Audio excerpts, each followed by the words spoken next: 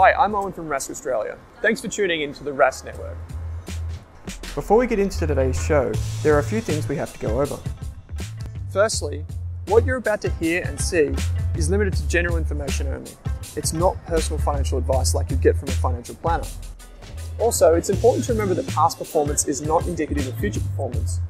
That means that anything that's happened in the past, or we say today, is not necessarily going to reflect what happens in the future. Lastly, please consider that any of the guests or myself are featuring on this program may have a financial interest in some of the products or shares mentioned. That's enough from me. I hope you enjoyed today's program.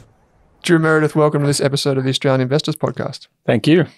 Today we're talking about seven companies. Why seven and not 10? Well, because we didn't coordinate before we hit record and we both ended up covering a few of the same companies. So we're going to cover CSL, Seek, Vicinity, Redbubble, Challenger, BHP. Uh, I've got Carsales and I've got, is that it? Is that on my list? I think that's all on my list, yeah, because I did CSL, Redbubble, and Seek as well. So, Maybe a quick comment on Brambles as well. Quick comment on Brambles. There you are. So 7.5 companies today is what we're covering. Um, rather than kind of dwell on it, uh, it's been a pretty volatile week. We've seen a kind of mixed bag of results. Uh, companies, you know, pretty typical for reporting season, falling 5, 10% either side. Redbubble being the exception to that, falling over 30% uh, upon release of its results. Uh, so a lot of eyes looking at that one there. Mate, why don't we start with the, I guess, the probably the most popular company amongst this list, which is CSL, uh, given its sheer size. Maybe if you share what you thought, and then I'll share what I thought about the company's result. Yeah, I mean, it was sold down, I think, 2 or 3%. The market managed to overcome, I think, second biggest company on the ASX. So everything it does drives the market. Uh, sold down after profit fell 2 to 5% to 2.3 billion US. Mm-hmm. It was interesting that management were pretty quick to indicate that that was actually the second biggest profit in the history of CSL since it was floated in 1992, I think. So kind of impressive in that regard. Uh, I think the issues for this year were kind of well appreciated. That's why the share price didn't move all that much.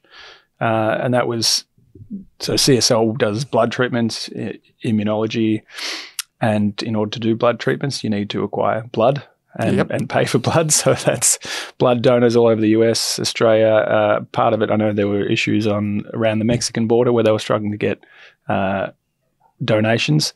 Um, and that's very much a leading uh, 12 months ahead. So you need blood before you can use that and treat and, and you know blend that to make treatments. So 12 months ago they were struggling for volumes, and now they've had a surge in volume, something like 24% in 2022, which bodes well for next year. And mm. that's what management said, I think. Mm. Yeah. Um, would you consider CSL a growth stock? Yes. You would? Yes. Interesting. What? Okay. So, okay. Well, how do you define growth stock? Well, it's returning to growth. One, I mean, most people look at the PE and say it's always it's on a high PE compared to the market. I think it's like forty-one times or something. And I still probably think it's cheap. Um, wow, okay, bold. Here we go. I mean, a, a big part of the. Uh, I mean, CSL is a company that's always been expensive. It's always been expensive. We're yeah. trying to manage portfolios, and the hardest stock to buy. Everyone's held it at some stage, and they've. There was a point last year where anyone who bought CSL ever was in a profit.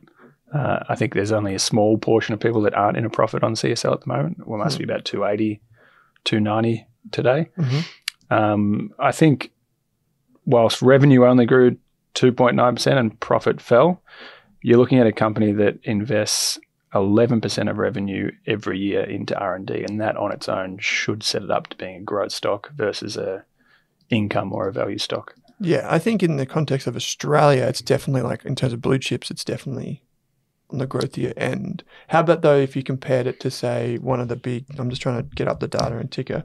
One of the like US tech stocks um, that might also invest 15 percent.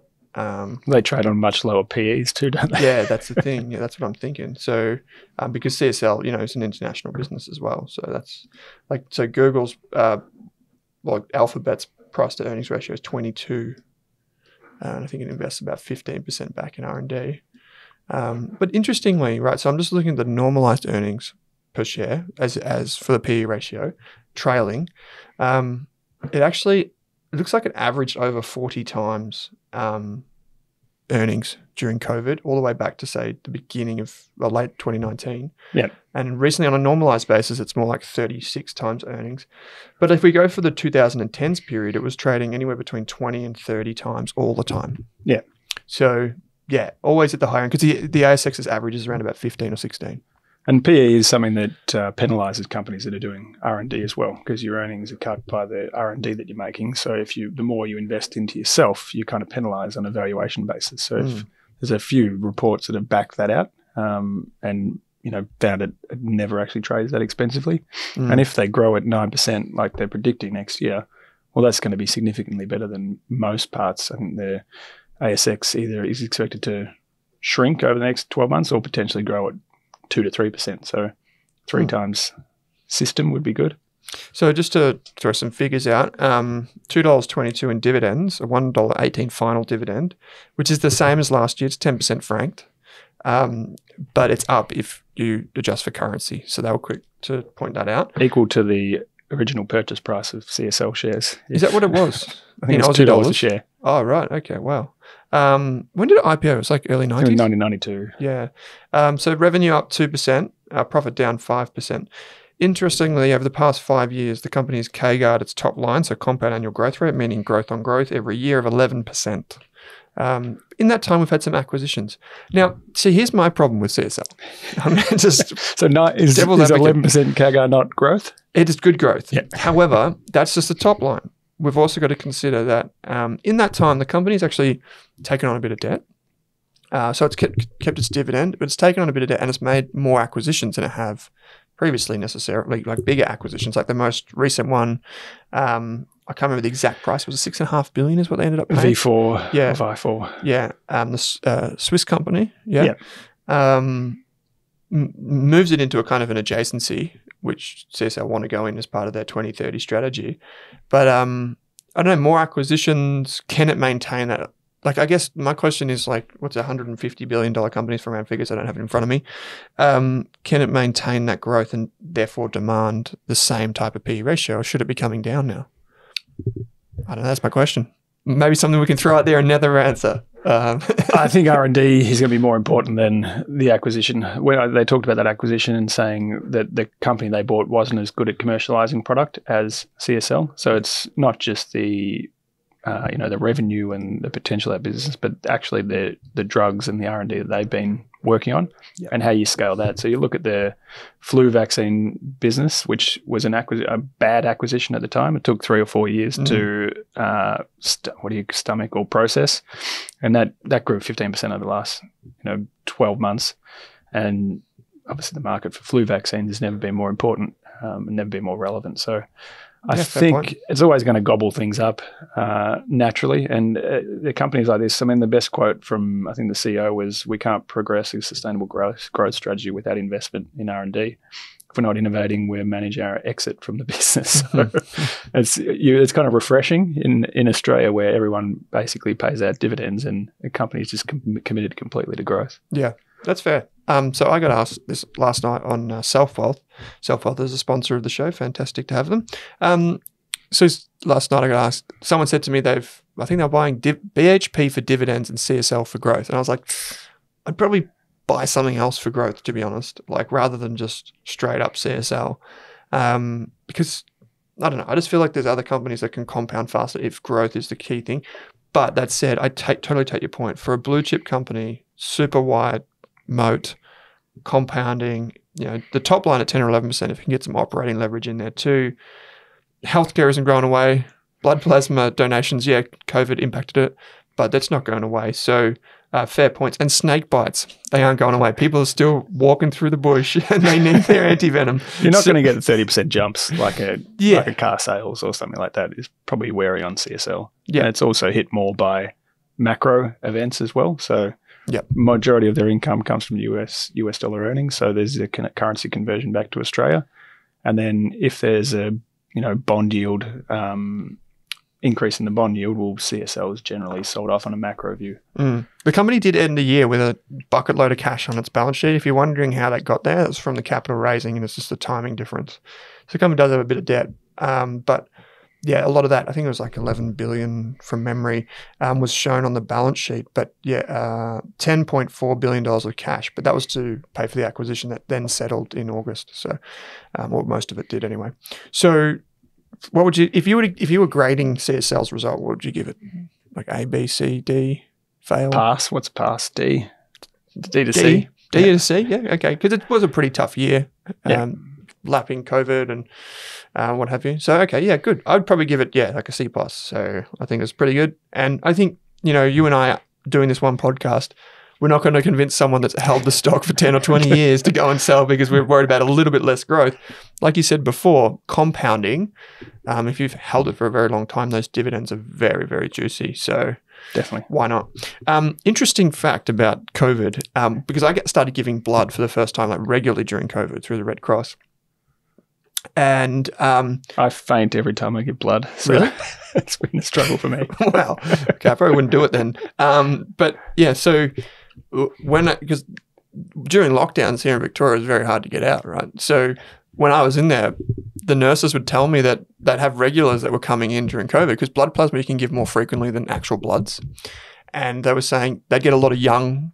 Uh, ladies come in to give blood, and they would use it as an occasion to catch up with their friends because they could have coffee and like free cookie? biscuits, yeah, the cookies and stuff after the donation because they couldn't meet up any other way. So Is that why you were going there as well? That's why exactly why I why I was going there. Yeah, the to meet up with or the, the young ladies. the yeah. young ladies. Yeah, it's a chance to meet young ladies. No, it, but it's seriously like it was a great initiative, and because I, was worried, the reason that I gave blood was because I thought, well, no one's going to be going. Yeah. I better do something. I'm just sitting there. But they said no, it's the opposite. Actually, we've been inundated. So And we don't pay in Australia either, do we? nah, No. nah, you just Only get kind. biscuits. Yeah. good biscuits though, and you get some chocolate milk if Party you want. sometimes. go and do it. Great. It's a great thing to do. Um, so, yeah, so that's a CSL, good result. Um, the a big Australian, which is BHP, um, good result from BHP. In fact, probably some people would say tremendous. And the reason why I say that is they paid a humongous dividend. Um, dividends up 8%. This is full year dividends up 8% to $3.25 a share, equivalent to $4.72. Just based on the current share price, that's a dividend yield of 11% fully franked so maybe like 14% after franking credits. They also gave the distribution of the Woodside um, when they sold, so when they sold their oil and gas across to Woodside Group. Yep. Interestingly, um, again last night when I was on the live show, I asked some people, you know, have you invested in the company? Blah blah blah. blah.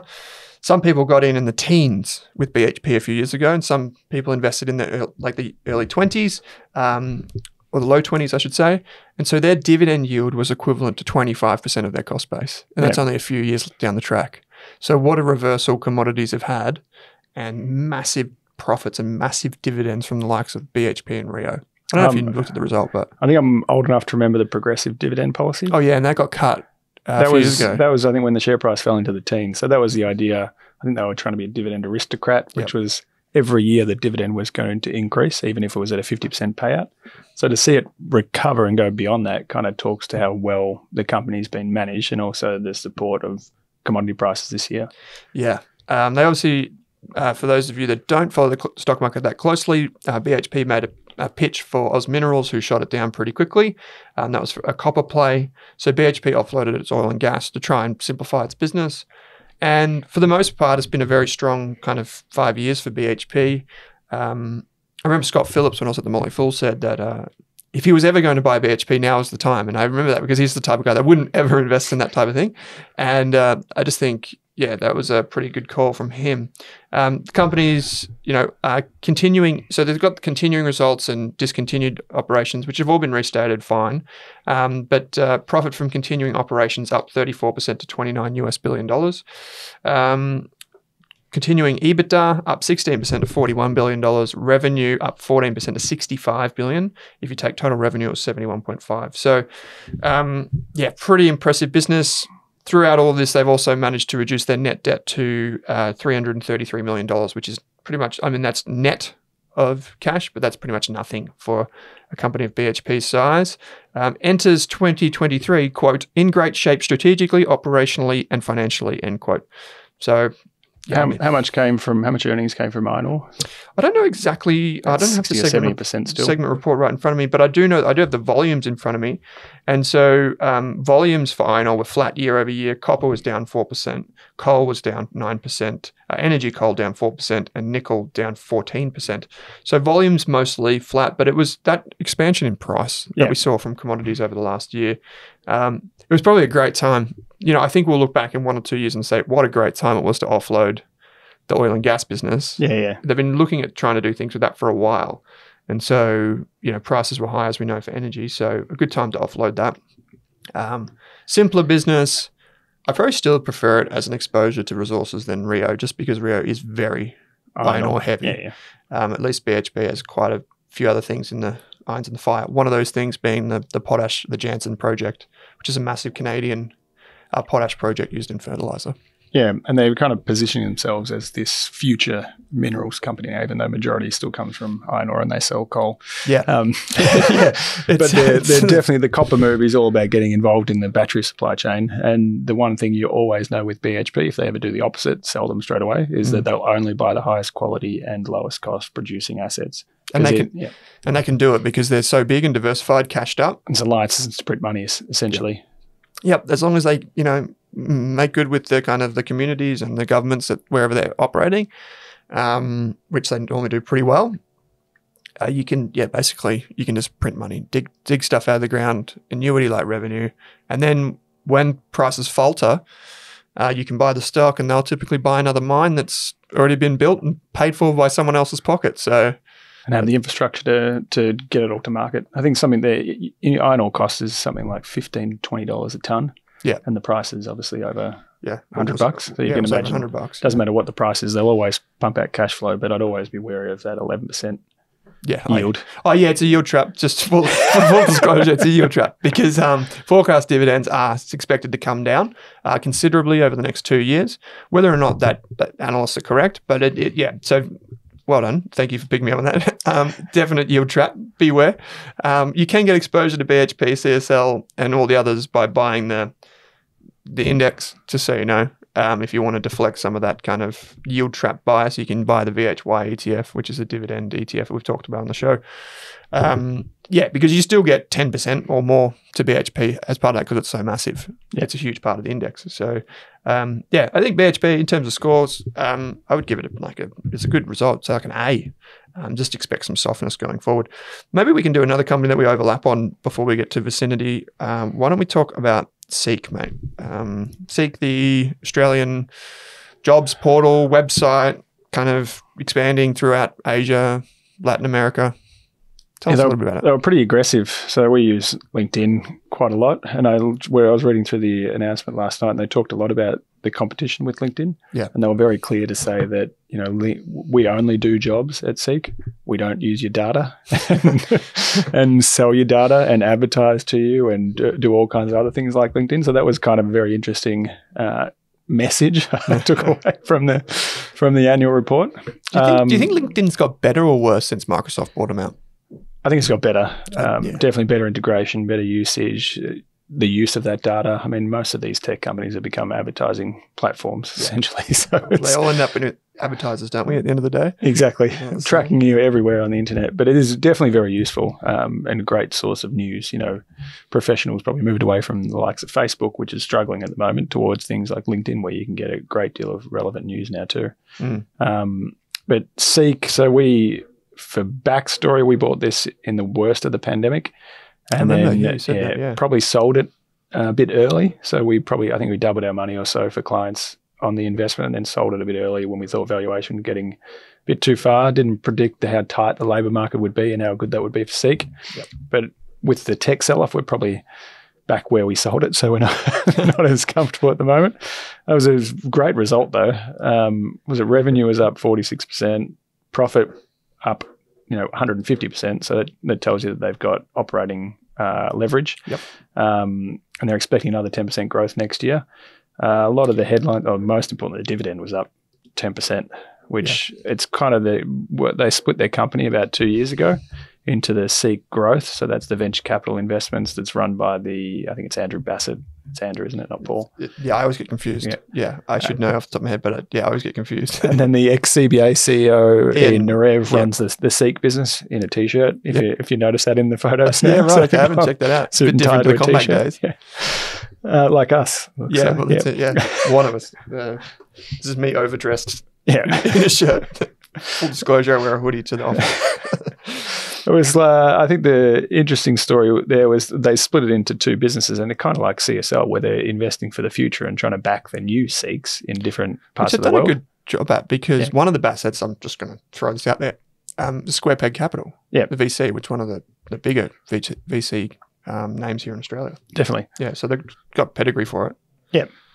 Yeah. I mean, the, that's where a lot of the attention was in the media was this idea that their VC portfolio was technically worth two and a half billion, but they actually devalued it by Yeah, did, a, a, a quarter or so on concerns. They said significant valuation declines, uh, and there was a disconnect between private and public valuations. And if you've been reading the newspapers, you know there's a lot of talk about this with industry super funds, institutional investors. yeah. Canva is in particular in the middle of it at the moment. So that was interesting that they cut that by 20%.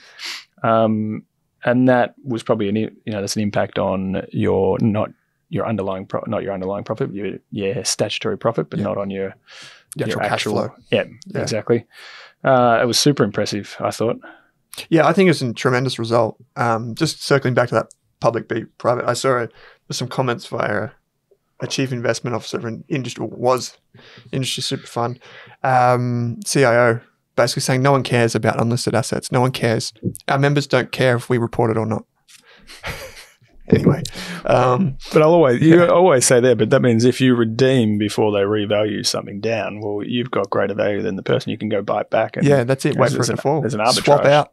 Yeah. I think we were saying that during COVID. Have you seen? I'm just going to turn this to you, um, and this is not good podcasting. But I'm just going to show you the chart of job vacancies. Have you Yeah. seen that? It's insane. So the number of job vacancies in Australia at a, not just a record, but like, bef- like pre-COVID, this would have been like two and a half times the record of job vacancies in Australia right now. Yeah. And I'm hearing this everywhere, and everyone that I speak to, people saying. Yeah, we can't find anyone. We've had to shut down the shop. Like, there's a cafe that I used to go to in Hawthorn. There's a big sign on the window that says, because I have a couple of cafes, and says, We are not open because we do not have enough staff. Please go to our other cafe. I was in Noosa last week and there was the same problem up there. So Yeah, they wouldn't open on some nights because they couldn't can't get enough staff for it. Yeah, I was um, telling the story last night. I was um, at the Dorevitch, the pathology, and there's three in my area. And I was talking to the ladies in there. I'm like, Yeah, no, the other two just You Most days of the week don't talking to open. ladies at healthcare. just what can I say? It's the best place to go. Um, so no, but I was chatting to them, and they were saying, yeah, the other uh, clinics for the last week you've had like five days where they just won't open because they just Yeah. can't get people. Yeah. So um, they ended up just being inundated in their clinic. But um, yeah, anyway, job vacancies at record highs. So you would expect Seek to perform well. they had record job ads in March, they said. Yeah, right. Okay. In March, right. So that's not too long ago at all. Um, obviously, the big concern, because Seek shares are down, um, the big concern amongst investors is how bad does it get from here? Yeah. Like what happens in 2023? Now, their guidance, I thought it was pretty robust, but there was some criticism thrown out. Like their guidance is growth, you know, excluding some significant items, their guidance is for growth. So I thought it was pretty, I thought it was decent. I didn't think there was anything bad about the outlook. What did you make of it? The quote was We have assumed a low risk of job market volatility from monetary policy, geopolitical change, and the pandemic. And Yeah. that's a lot of assumptions. Yeah, it is. that everything will be fine. If this assumption changes, revenue could fall below guidance. So I think they're assuming Goldilocks, and that's probably what, what the market didn't like. Yeah. Yeah, um, I mean, they're, I'm pretty opinionated on the jobs position, and, and you look overseas, the US has only just got to the same amount of people employed as there were before the pandemic. So Mm. unemployment's the f- unemployment rates halved, but there's less people working, and you can see that in Australia. Unemployment's at near an all-time low, but there's about the same people working as there were in 2019. So a, a big part of that's, I think, immigration and overseas workers no longer coming into the country, at least at the moment. Mm. Um, how else do you have the same amount of job vacancies as unemployed? There's a mismatch in, True. in skills. Good point. Yeah, good point. You- That was a bit Um, too macro, probably though. No, no, no. You're digging into the data. I like it. I didn't. I didn't. Um, I'm not across it as well as you are. Uh, but that makes sense, and that would probably be the the rhetoric from everywhere, right? Like even jobs, you know, in transport and things like that, which are like for the most part blue collar jobs, pay really well, but blue collar jobs, um, oftentimes they can be fulfilled Um, like I was in a region, Wangaratta not long ago, which I know you know well. Um, and the transport sector up there is really hustle and bustle because it's on the border between Vic, Vic and New South Wales. And they can't get, you know, they're saying all the, the people that can drive a truck are going to drive trucks, which means that people that were driving buses aren't driving buses anymore. Because you get paid more driving yeah, a truck. and yeah. the people, some of the people that were doing that are now working on farms because there's no one on the farms doing, you know, the backpackers jobs, and they're getting paid well. So it's like they're pulling from other industries. Yeah. and that's where we see this big shift, and it's on the margin.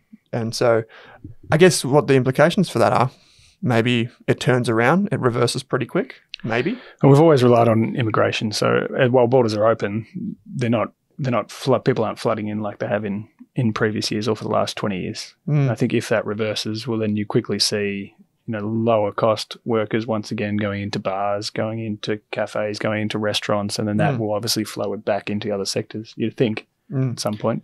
Shout out to Beneath Driver Lane here in Vic- Victoria in Melbourne CBD. Very good bar if you can get in. Uh, it's pretty pretty exclusive this time of year, but it's a good bar if you want a uh, a whiskey or a, or a rum or whatever takes your fancy. Disclose my personal stake business. uh, no, it's a great spot. So um, get down there. Uh, okay, so we've done CSL, we've done BHP, SEEK, good result. Um, the outlook is the thing that people are concerned about, which is fair enough. Um, one result I haven't looked at at all, mate, which is Vicinity Centres. Can you just tell tell us what it does and what the result was? I think the easy way to summarize it is that it owns Chadstone uh, and then a series of, I think it's the Emporium Arcade in Melbourne and uh, a series of major shopping centres and then some regional shopping centres as Mm. well. Chadstone being the biggest shopping centre in Victoria, the fashion capital, if you like. They've got a, their own bus line that goes from the, so I think from the CBD straight to, yep, Monique's Yep. nodding, yeah, uh, straight to Chadstone. So um, big hub for everything, and there's a hotel and stuff there now too. Yeah, and it was, you'd say on the headline, it was a great result. Profit was up five times. It went from a loss last year to a profit of 1.2 billion. Mhm. Uh, They said a 500% gain in profit. I'm not sure if you can call when it goes from a loss to a gain, a 500%. I always love that. The negatives just spinning around. Just Yeah. jumps it up. Uh, essentially, you're buying a company that uh, the funds from operation is the most important thing. That's where your rental payments are coming in. Mhm. That was up 7%. They pay out 95% of that as, as distributions. And then they create value or make money either by changing the rental mix, increasing rent. So some see it as an inflation hedge where your, your rent goes up at a retail store. Sometimes they have links to the profitability of, say, a Woolworths or a Wesfarmers, and their rent goes up when that goes up. Um, one of the big changes has been the valuation of their property. So, you know, do during the pandemic, valuations went down, uh, traffic went down, cash, you know, cash receipts went down. They were quite strong, I think, in the media. Uh, Yeah. I think it was with Solomon, maybe Premier Investments Yeah, or one of those on groups. Uh, they were very strong in holding their position and not renegotiating too many uh, leases and kind of seeing through it all. Um, and the result was their over the 12 months, their net tangible asset value, so the value of the properties they own, went up 10% to $2.36. And I think that's about a 10 to 15% discount um, to the current uh, share price. No, it should be the opposite.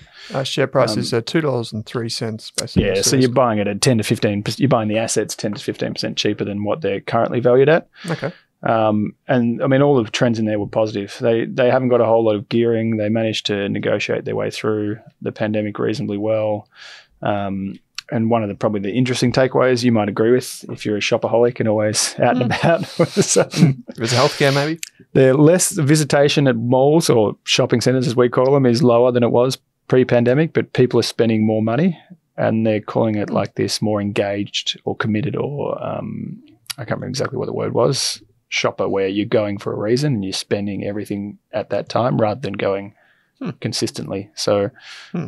Good for he- healthy retailers are good for healthy uh, Yeah. shopping centers. Well, I know there's a Tesla store in Chadstone. So Yeah. if you're buying Tesla, that's going to increase your basket size a little bit. I'm trying to. yeah, wouldn't that be nice? Um, yeah, it's what do you what do you make of interest rates going up though for REITs and property? They're actually coming down already. That's why all the property trusts have done well in the last Yeah. uh, six weeks. As in, like that's why they're like because the revaluation of those fixed rates are, are dropping. I think one thing, there's a few things to consider that. Yeah, generally a higher bond yield should eventually equate to a higher cap rate, and a cap rate is what the key tool you use to determine the valuation of property. Um, so one thing is always understanding how the cap rates what cap rate levels are with these companies. Are they overly aggressive? You know, I think most of the properties in this portfolio valued about 5.25% yield. So Yeah, right. they didn't get down to the one and a half, two percent that industrial properties were trading at. Um, so always understanding and where that sits compared to the market, which they're usually pretty good at sharing, how aggressively they're pricing, uh, they're pricing their properties. Um, naturally, you'd think there'd be some level of uh, reduction in value as bond yields, but it requires people to sell essentially. Uh, and if you're re- if you're in a if you're holding high quality landmark assets, you're not having vacancies. Anyone that leaves is going to be quickly taken over. You're not discounting. Yeah. So that's the difference between this and, and a kind of sub regional or lesser quality uh, shopping center strategy. Um, I think it's a risk, probably more on the gearing side. So, how much of your uh, interest rate risk have you hedged out? Um, they've only got 25% gearing, which is pretty That's pretty good. pretty low for Yeah. a, a property uh, trust. Um, so make, making sure that if interest rates did go back to seven percent, you're not going to lose a massive amount of your, your profit, which they've been pretty good at. Just on the um, Bloomberg government bonds here, 10 year yield is down seven basis points over the past month. Um, so that's, yeah, hinting. And I've So that's 3.1, 3.2. 3.33. I've spoken to, um, I spoke to Chris Bates, who's a mortgage broker on the show recently, and he actually said Macquarie and CBA actually dropped their fixed rates on mortgages Yeah. recently. So that we're starting to see that flow through to consumers as well. This is what people don't don't really look at. You'll hear in the newspaper that the you know the market is predicting interest rates to get to seven percent, and that's because the ten year bond yield went from 0.5 to four percent in about three months earlier Yeah. this year. But it's since fallen from four back to three point three, Mm. and the prediction isn't a set prediction like it sounds like when you read the media. It's actually a constant review of what's happening in the market. So you'd say the and, and our view is that the expectations of interest rate hikes that that were priced into the market were excessive, and it's it's slowly Agreed. coming back to normal. Yeah. You still get your um My interest rate on my mortgage is still going up. Yeah, that and that could still happen as um as interest if the RBA does increase interest rates, that could still happen. But it's the forward yields that we're looking at here. Like what is the market pricing in in the future, basically. Um, okay, so overall then it sounds like a pretty good result. Yeah, we were pretty happy with it. This is a part of um, our model as well, so probably a B. Yeah, B, cool. What when you say it's part of the model, so do you have a few of these in there or is this just one exposure? We generally have unlisted uh, Thought so. property, um, but then saw this similar in the back end of the pandemic. So around the time the vaccine uh, was announced, we had a few op- opportunities, kind of recovery opportunities, and we bought it back then Okay. um, Yeah, cool. as a play on the reopening. Yeah, I like it. Um, okay, so that's vicinity. I'll do one that uh, maybe I just uh, will do solo because I, I don't think you've looked at the company, which is carsales.com. Um, really strong result.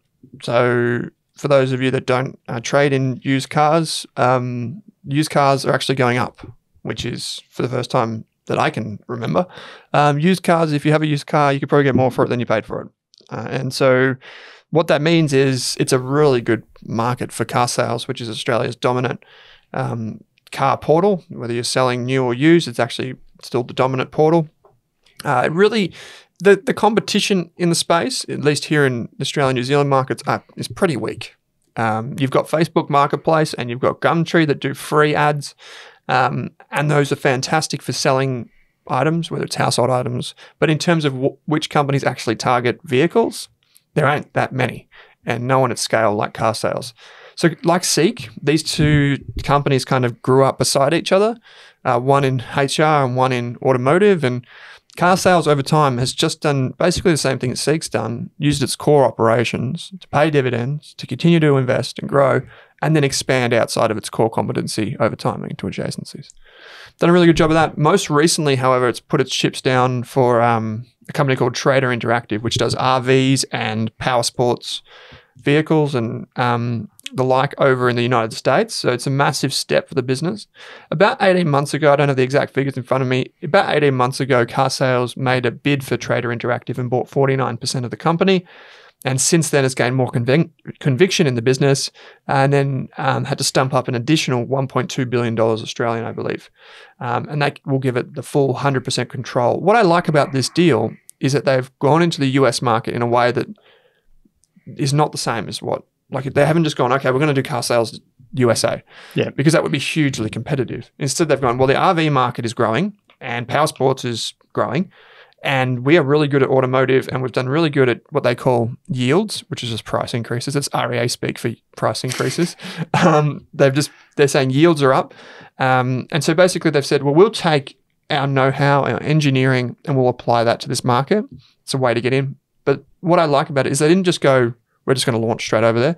They went and bought a company and they bought a part of it. And then they thought, okay, this is working. We've got good visibility. Now we'll buy the whole thing.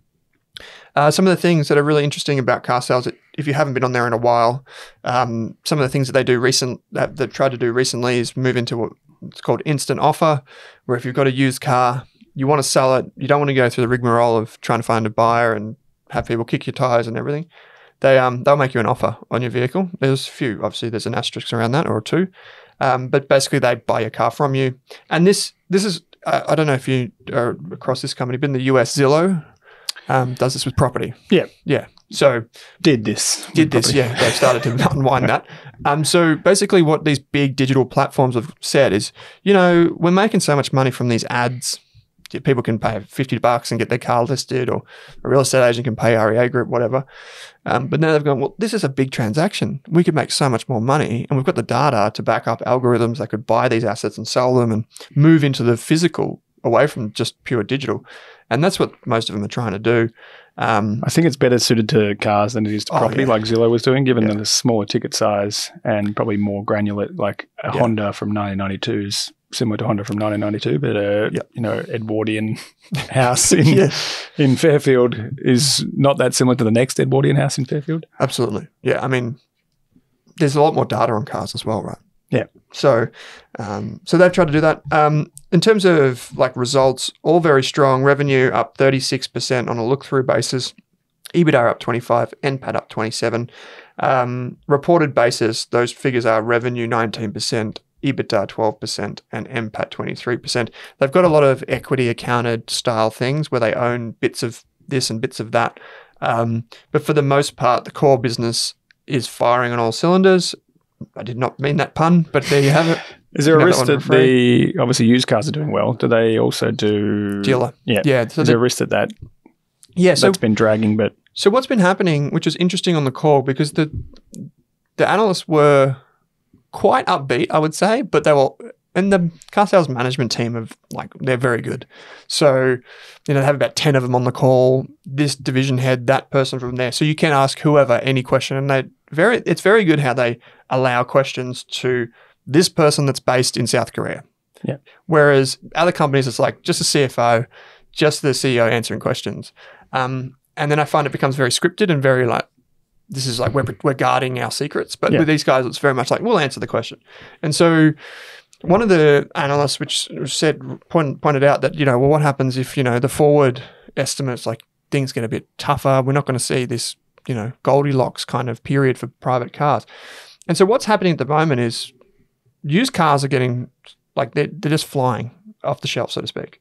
And so what's happening is people are going to dealers and saying, "Hey, do you want to buy this?" And the dealers are just lowballing them because Yeah. they they know that like people want to sell, but they know that they're going to move it on. They've got enough demand. They don't have to. They, they're just going, "Yeah, whatever. We'll give this." And then people are turning to um, private sales. But as things get tougher, the dealers might become more active and need to be more, do more advertising, might need to um, be on Carsales more regularly to get their sales happening. Yep. So it kind of has this counter cyclical element to it where, it, and even we could apply that to private sellers as well. If you're not selling your car as well next year, what are you going to do? It's not selling on Gumtree, it's not selling on Facebook. The deal is like so so. Well, you go straight back onto Carsales and you pay for the premium ad. Yeah. So it's got those counter cyclical elements where Seek probably doesn't have that as, as, as well. Yeah. Um, as well, it's got the optionality in Korea, Latin America, and now the USA. So, um, not to be too bullish on the company, but it was a good result. Dividends were good, profit was good, pretty strong outlook. Maybe that there's a risk there that it's not a Goldilocks period next year, but I think for the most part, good result. it looked great to me. I'm trying to buy a car at the moment and uh, just given up. Honestly, yeah, For I 2023, I think. Yeah, so I gave up to be honest as well. Um, I was looking for a Subaru online, and everything was so expensive, like five or ten grand more than what you'd think that they would go for. Yeah. And Ended up buying one down the road. The guy just put a sign out. He's like, "Get rid of this." I'm like, "Okay, I'll take it." Um, Should have been on car sale. yeah, if, I reckon if he was on Carsales, he would have sold it for two grand more. Yeah. But he was looking for a quick sale, and I was happened to live on the street, so that that works for me. Um, so yeah, I mean, yeah, good outlook. Um, interesting move into the US. Something to watch closely. Australian companies don't always have the best track record of moving into the US, so um, yeah, it'll be a, it'll be a good period to watch um, the business going forward. Uh, there's still some weakness around with COVID, by the way, too, in places like Mexico. So um, it's not all roses for the business, but a good result. So we've done a few names now, mate. What's next? I got Challenger. So my Okay. theme of fund managers, uh, Yes. uh, they're not just a fund manager. So for people who don't know Challenger, it's a annuity provider. So Mhm. they sell annuities for retirees, for institutions, essentially guaranteeing income for a certain period of time. Sounds Um, like a Ponzi scheme. Go ahead. it's more like an insurance company than a Ponzi scheme. Okay. Very similar. But uh, part of their business is obviously when you've got all that money, you manage it, similar to Berkshire Hathaway. And uh, part of that is through uh, they own a group called Fidante, which distributes. You're probably talking to some of their their managers. Um, I think it's groups like Bentham, Ares, a lot of fixed income and SIP uh, fund managers. So involved in credit and, and fixed income Did you say sectors. SIP? CIP, yeah. Is that the name of the fund, or is what is that? I think it meant it Challenger Investment Partners. I think it's Oh, right. from. Okay. Yeah, yeah. Yeah. Uh, so I think that was kind of their internal management. Yep. Uh, and they've got something like, or their group assets under management is was 99 billion. It fell 10% for the year, but that includes both the statutory fund they have to hold for their annuities and they call it life sales, as well as the assets under management of external investors.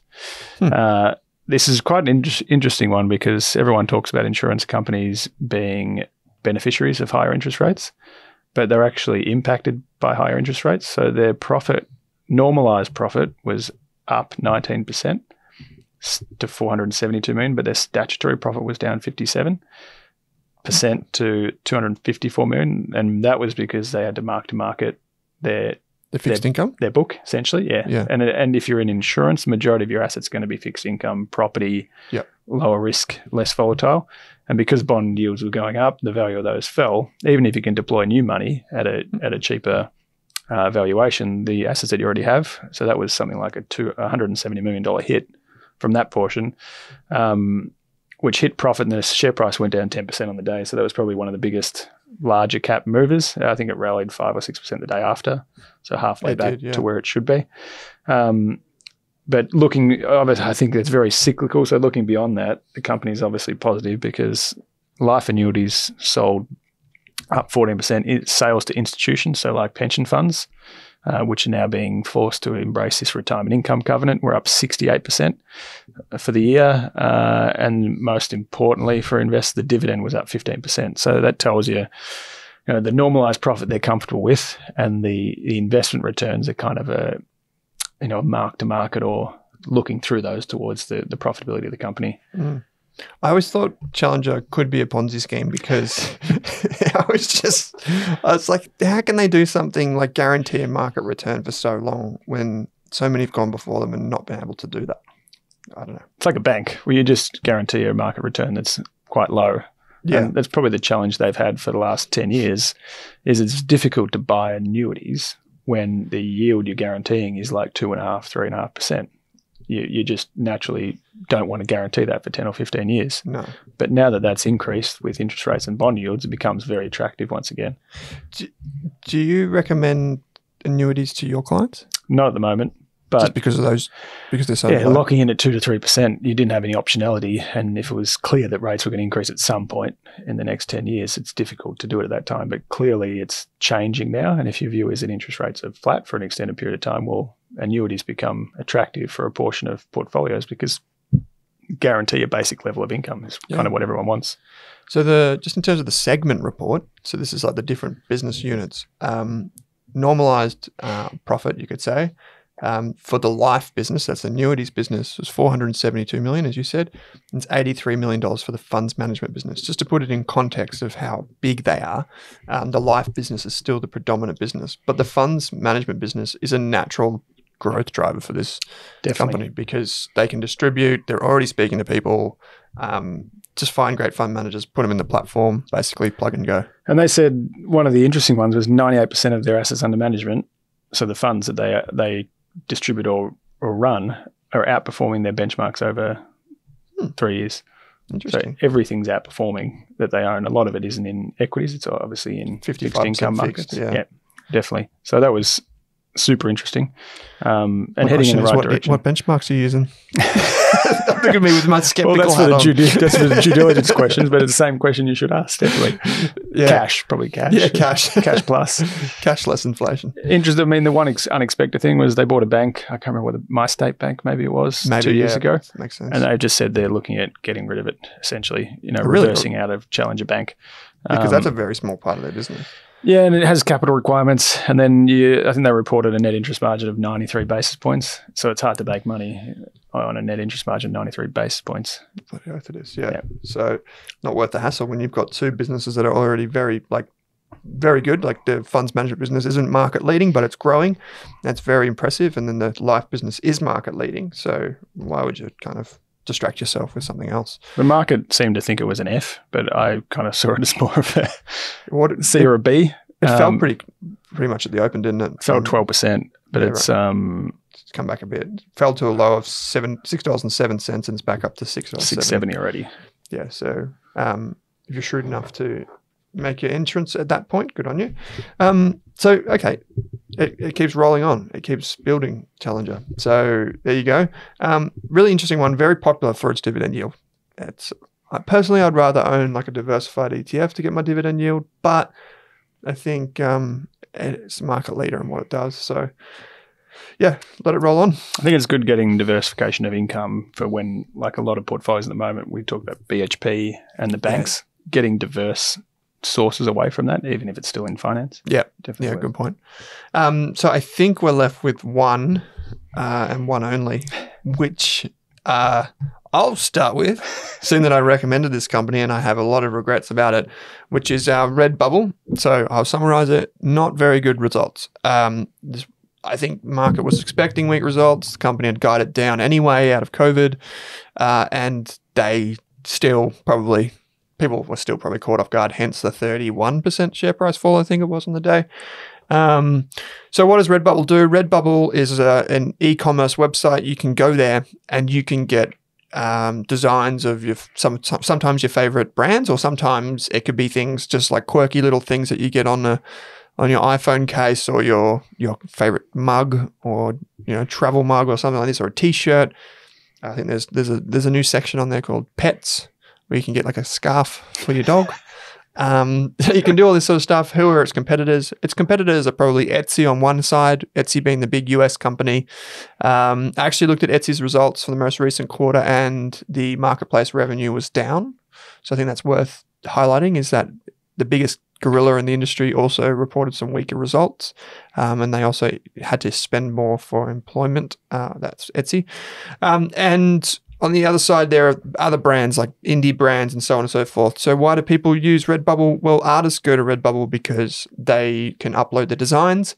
And it basically means that they don't have to pack, fulfill, send, and redesign every design that they create. So, if you have a design and it's like in a PNG file, like an image format, you can upload it to Redbubble and someone else can go along and use it on a mug or a pillowcase or whatever. And Redbubble will pay you if that design ever gets used. So that's as simple as it is.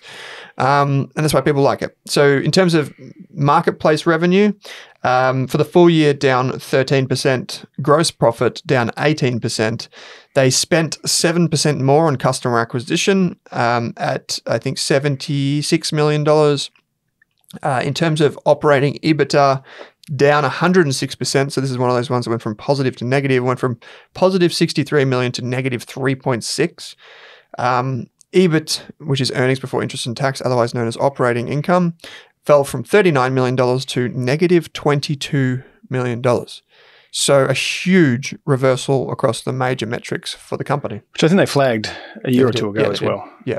Because so during COVID, um, masks made up a, a healthy chunk of the sales. If you wanted a mask, but you didn't want to just wear the standard blue one or you didn't want to wear the black one that your grandma had knitted for you, um, you could go to Redbubble and you could get one with I don't know, maybe not Homer Simpson, but something funny on it, and you could get a mask like that. Um, and so I, Kev, our old analyst, had one with the the the meme where there's like the little guy sitting in a burning down house, and he's like, "This is fine." Um, that was his mask. That was I really like that. So, you know, this uh, business is an interesting business in that it's trying to allow creators and designers to make money from their assets. Um, it's a tough industry though, because on one hand, they need to be fed from Google and ads. And on the other hand, they've got fulfillment expenses. Yeah. So my original thesis for Redbubble was it's starting to get traction. People are growing awareness of it. You know, COVID was a good thing. I thought some of those artists and some of those con- consumers would hang around. Like once you try Redbubble, you get familiar with it, you like it, you keep going. Um, and over time, the business would scale well. And then once it scales, basically what they call fulfillers, which are manufacturing sites that produce the t-shirts and produce this and ship it to customers and whatever, they would be able to go back to them and say, "Hey, we're gonna, we want more. We're gonna, we're the platform. You guys are commoditized. We've got, if you don't take our cost base for this t-shirt, we're just going to find the next manufacturing site that will take 20 million t-shirts over the next year and do it for less. And that basically hasn't happened. So Redbubble was a scale game. And all of a sudden it's turned around. It was like our version of a Nasdaq stock, essentially. That It was seeking to get uh, this kind of low margin business. You need to get scale, you need volume, and you need it quickly. Yeah. And then when the market turns, valuation, the valuation you got, the cash you've got, are all challenged. Yeah. Um, I think the concept makes sense. Uh, the only thing you look on the website and you probably think maybe too many verticals. Like, can you imagine having to deliver everything from homewares to t-shirts to masks? Mm. Um, maybe that's where they go next. But you could get, if you go on a Redbubble right now, you could get a on. Rask branded. Um, oh, you're on there. I, I created a fake account, you know, like a dummy account. But I think you can actually order some. And it's horrible because I made it and everyone on the team was like, oh, don't show that. Maybe it's deleted now. I don't know. Maybe they like They banned you. just got rid of it because this is ugly. Um, but you could get a Rask branded shower curtain, and then you could go into the lounge room and get a Rask branded pillowcase. Take it, take your phone with you. Well, there's a Rask branded phone case. Um, so you could do that. Um, but yeah, you're right. Like they have done a lot of verticals, and the verticals have promised more. But at the end of the day, I, personally, I don't think it's that. Personally, I think it's are people using it Yeah. and are artists saying when they've got their Instagram profile or when they've got their website, are they saying buy it on Redbubble? That's the network effect. Just like you know with Amazon Pay, uh, no, sorry, Amazon A- Afterpay, it was like paying for with Afterpay.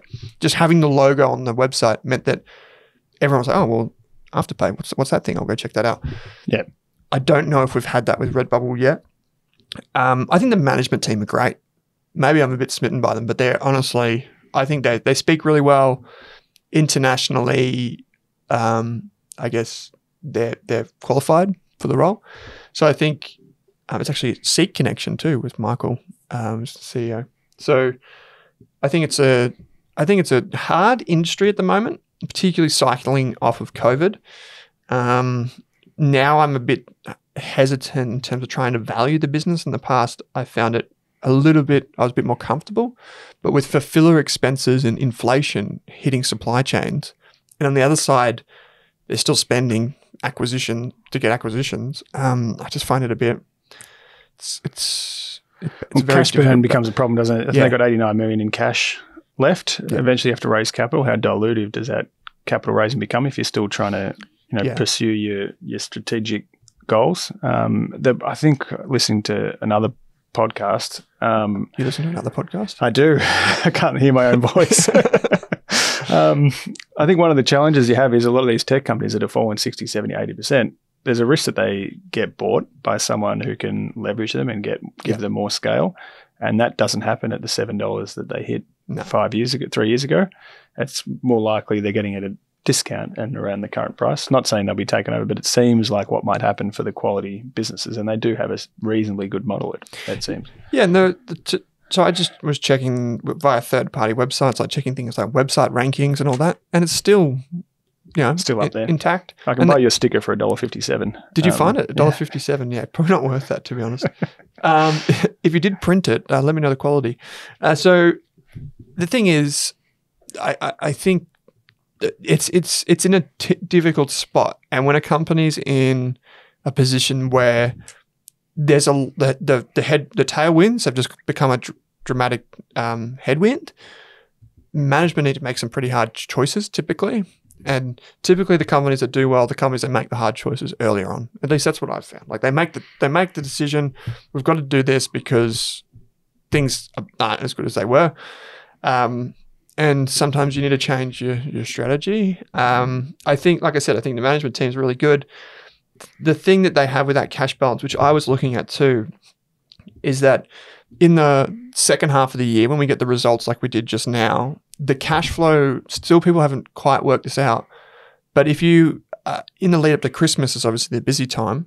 And because they're collecting the cash from the customers up front, kind of like Amazon, and then they're paying the fulfillers 30 days later or whatever it is, at December 31, their cash flow looks really good. And in the second half of the year, it looks like a dog's breakfast because then all of a sudden they've had to pay out all that cash. Yeah. And so that's what we tend to get that shock and awe in the second half. And I think we just got dealt that blow. I mean, it's covered by less analysts, if if any. So that's probably where the struggle comes from too.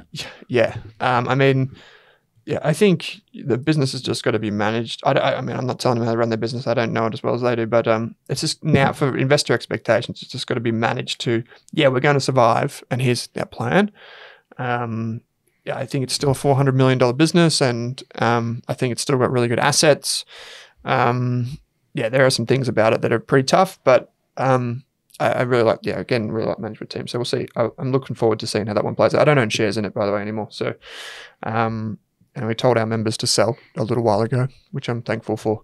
So, mate, that's all of the companies. We've got Redbubble in reverse. We've got Carsales. We've got vicinity centers. We did Seek, BHP, CSL. Did I miss any? Challenger. Challenger. Challenger. How can I forget Challenger? Um, so some really good names there. If you do want to send us an email, I did get some messages through uh, via Twitter. There is actually going to be a link in this week's show notes, and it'll go to a type form. So that's just like a, a form that you can fill out anonymously. It asks you to send us your questions, uh, depending on which Rask podcast you listen to. You can get in touch with Drew, wattlepartners.com.au. Link will be in the show notes forward slash contact. Um, and you can find out more about Wattle Partners financial planning there. We're also, even though we talked about Seek and Drew owning Seek, we are also on LinkedIn. Um, so if you do need to reach out, you can reach out that way. But if you do have a question, send it through the type form. We will ask you some questions um, as part of a survey as well while we do that, but it's completely anonymous. So go and check that out. We'll be coming back next week with more companies. Hopefully, we'll have 10. I think we'll. Seven can was a good sure number. I feel like seven's like a secret number in podcasts. It might be like you put seven on the tile. Like at fine dining, you always have an odd number Yeah, rather than an even number. Yeah, Something, maybe there's some science behind this. We're about to discover agile. That's what we are here at the podcast. So, uh, Drew Meredith, Wattle Partners, thanks for joining me. Thanks again.